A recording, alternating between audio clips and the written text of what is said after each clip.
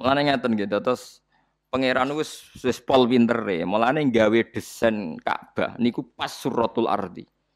Nggih, kula balin malih. Allah ndamel Ka'bah niku pas tengah bumi. Lah nek sampean takok protes, nah anak bumi bulat bola kabeh rak tengah ya kowe goblok. Lah ngono nganggo ilmu kaya Abu Nawas. Ditakoki Harun Rasid di tengah bumi terus dicubles ngawur nek ora percaya ukur dhewe. Jadi Abu Nawas kok pinter-pinter wong. Harun Rasid itu berkali-kali kepen ngalah, no, tapi ora tahu menang. Abu Nawas tahu dikei pertanyaan, ono pengawali Harun Rasid ku papat. Wis kon nggawa ndok kabeh.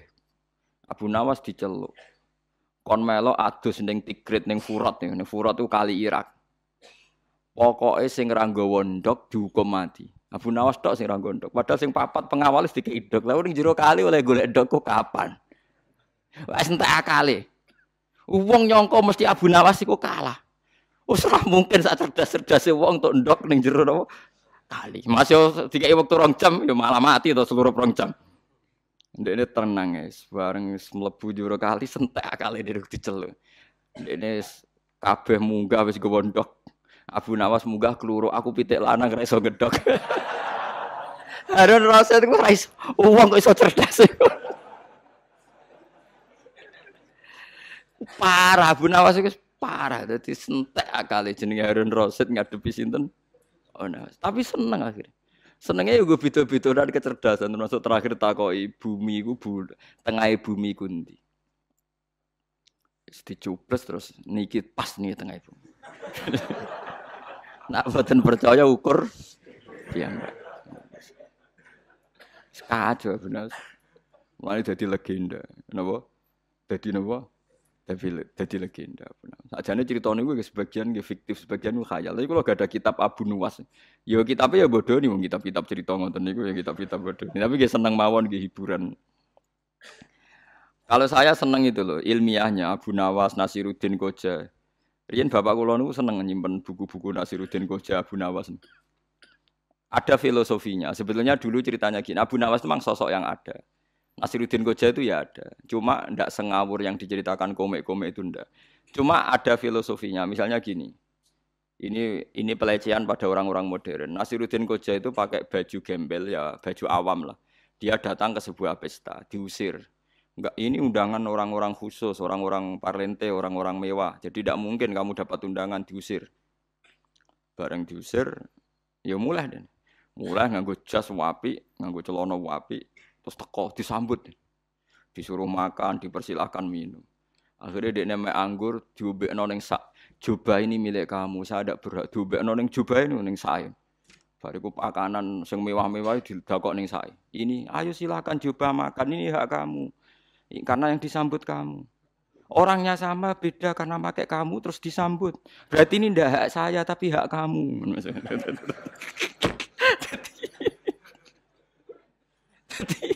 Wong darani Nasiruddin Koja ku edan. Akhirnya dia memberi jelasan. Tadi saya datang diusir. Sekarang kok disambut karena ganti jubah. Berarti yang disambut itu jubah bukan saya. Jadi mulai kapan-kapan kena anggut jas kok disambut. Itu semua makanan dan minuman hak jas. Itu artinya pelecehan. Betapa bodohnya orang modern. artinya kalau menghormati orang karena jasnya kan berarti orang modern itu bodoh kan hanya menghormati pakaian kan, nggak menghormati manusia kan. Mulane Nasir Gajah merasa tidak berhak makan di sono ning sae, di sono ning jubahe karena yang disuguhi itu jasi. Paham gak? Mulane aku hormat Mustafa mergo nggawe takwa anak tak kei mangan kudu semangan takwane. Perkarane aku darani takwa mergo klambine. Takwa, mbok kelakuane ra. Artinya terus orang menjadi sadar betapa bodohnya kita. Mulane jari Nasruddin Goja, tadi itu saya yang datang, kamu usir, ganti jas, kamu hormati. Makanya saya tidak berhak makan ini. Ini haknya jas. Akhirnya wong udah sadar, ya Allah betapa bodohnya kita. Rumah saku kue stres, boleh pinter kue. Terus akhirnya udah sadar. lah dulu orang-orang tasawuf itu. Lah Bu Nawas ya gitu. Harun Rasid itu suatu saat ini cerita yang di kitabnya nggak bodoh nih. Harun Rasid itu orang soleh, murid Imam Malik. Pinter sekali dia. Orang-orang khalifah pinter kata sinten Harun Ar-Rasyid, masyur. Pinter sekali wong alim. Tapi wong alim kan manusa, nek orang wedok tetep seneng. Suatu saat ini melaku-melaku wonten wong wedok nu pas hadis ini kan gak ono jeding tertutup.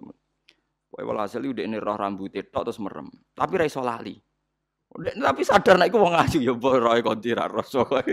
Dene sadar nek sing adus iku wong ayu. Suwengi ora iso turu. Ora iso turu. Zino gak wani, lali ra iso. Pipi. Ape wayo ora pantes. Wong bojo wis papat nambe sitok kan wis resiko to wis Wis maksimal.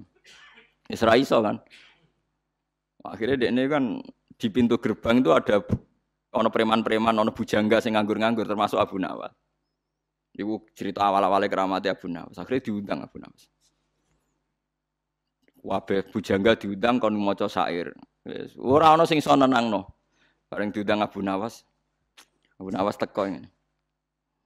Abu Nawas teko pertama cerita.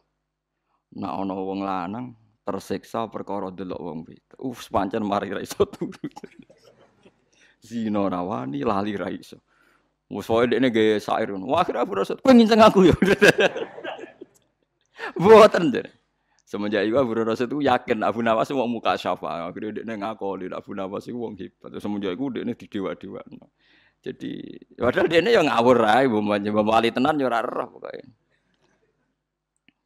Iku, iku cerita, itu sekelumit cerita Abu Nawas, sudah di masyur, jadi wong sufi sing sing paling makalah paling masyur gini ku rokok zujaju wa rokotil khomru wa tasyabaha fatasyakal al amru fakaan nama khomrun wala kodahu fakaan nama kodahun wala khomru jadi makomku wis koyok gelas putih bersih sing dikai banyu uang delok iku koyok banyu tanpa gelas utawa delok gelas tanpa banyu. Jadi aku waliku mbek edanku iku wis dadi sitok, ora jelas.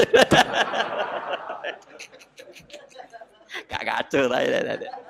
Jadi koyok gelas putih diisi banyu, fa, yo koyok gelas tanpa banyu utawa banyu tanpa. Jadi dia nih cari ini dia nih tapi bos senengane dia kan ngangkat makome dewe jadi jadi ya serius tapi nih wong pinter. Harun Rasid itu pinter-pinter. Lani kulo nu sering mati kai Harun Rasid. Kulo nganti saat ini cek utang jasa be Harun Rasid. Saya belum pernah melihat khalifah selain Umar bin Abdul Aziz. Maksudnya tidak sahabat yang tidak sahabat. Kalau anak sahabat karuan di atas beliau-beliau ini. Harun Rasid itu seorang raja. Yang namanya raja itu yono ya melete ini jenenge rojo. Sak soleh soleh rojo jenenge nopo. Rojo. Masih rojo soleh lah teblugo nih singgah sana. Mustafa Swan tetap nengi sorong jenenge nopo. Rojo masih soleh. Itu ada seorang santri kiai, santri sok suci, sok benar. Dia Sowan Harun Ar-Rasyid bilang begini, kalau cek apal tadi itu yang diceritakan kitab Al-Manhaj Sawi karangannya Habib Zain bin Semid dan banyak di beberapa kitab. Ya Amirul Mukminin ini unasihuka. Ini unasihuka wa uhadziruka fala tajidanna ala nafsi kasihan. Saya ini mau mengkritik Anda karena kesalahan-kesalahan Anda. Dan kritik saya ini pedas sekali, keras sekali. Fala tajidanna fi nafsi kasihan. Tolong jangan jadikan hati. Jadi dia wis pamit, saya akan ngeritik engkau keras sekali, tapi tolong Anda jangan tersinggung. Jawab Harun Rasid itu enak. Uskut ya jahil. Hei wong goblok menang bintu. Inna wa ta'ala qad arsalaman huwa khairun minka ila man huwa syarrun minni. Wa ma adzalika qala wa ta'ala faqula lahu qala layyina la'allahu yatadzakkaru aw yakhsha. Hei mubalek bintu. Kowe arep ngamuk aku terus gak di etika wala sama apa? Allah tahu ngutus wong sing luwe apik timbang kowe. Ning gone wong sing luwe elek timbang aku. Yaiku Allah ngutus Nabi Musa. Nabi Musa mbek mubalek apik di? Apik Musa. Saelek-elek Harun Rasid mbek Firaun apik di? Elek ndi? Elek Firaun. Allah ngutus wong sing luwe apik tinimbang kowe.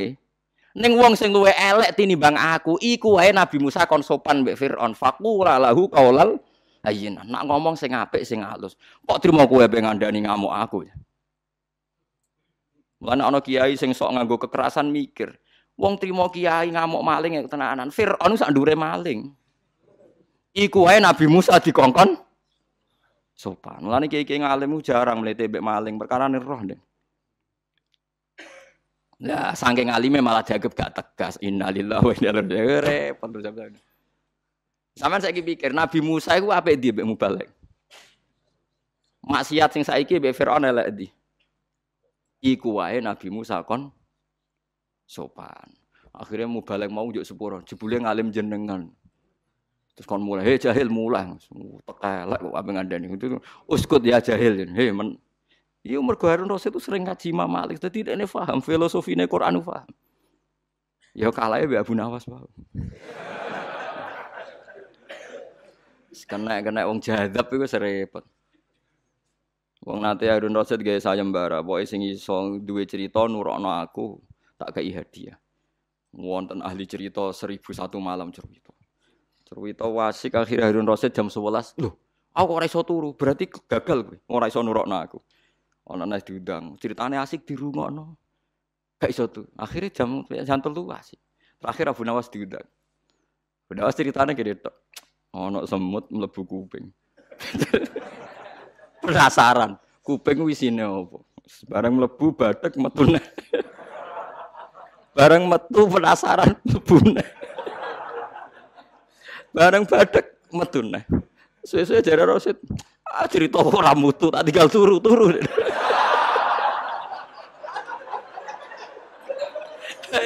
ya sih ngono. Ya soalnya kelakuan wis ngono-ngono tok, ternyata bener. Ah, cerita ora mutu wis tak tinggal turu. Iya, tapi akhirnya kan menang. Jadi cerita sing ning komik Abu Nawas macam-macam. Lah sebagian iku ya goro. Maksudnya kalau nggak sebagian besar ya napa goro. Ya tapi ku mau goroe ceritane wong tasawuf ku ana filosofi ini. Kados wau Nasiruddin jauh ben wong modern ku roh. Betapa kita ini naif karena menghormati barang. Jadi kowe kan yo nak dolan nggone wong mergo Pak sepeda motor elek ora dihormati, bareng balik gue CRV tak Alphard dihormati iku semua makanan HE mobil Alphard Paham ya? Kowe ora berhak napa? Mangan. Mergo sing dikeki iku alpa. Haram mbok pangan, paham iku gak ora napa? Paham. Paham gitu.